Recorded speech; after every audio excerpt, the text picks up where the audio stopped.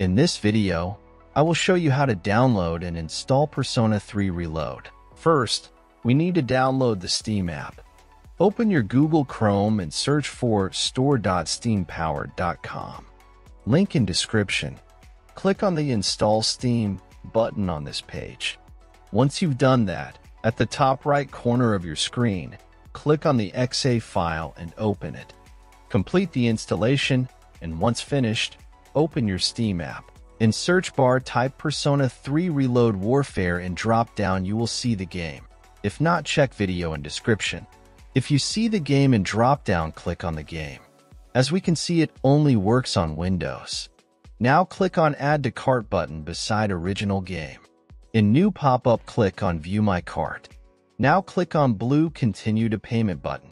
In Payment Methods, select your preferred payment method and proceed. It's not gonna cost as luxury watch, but it's not very cheap. After you're done with payment, next steps I will show with game I already own. After completing the purchase, go to your library.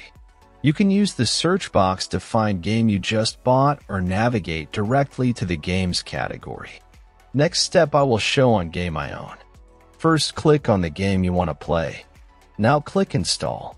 Complete installation process. When installation completed, click to play, and that's all. Thank for watching, subscribe and help reach 1000 subscribers mark so I can make more tutorials. Thanks for watching. I hope this video was helpful.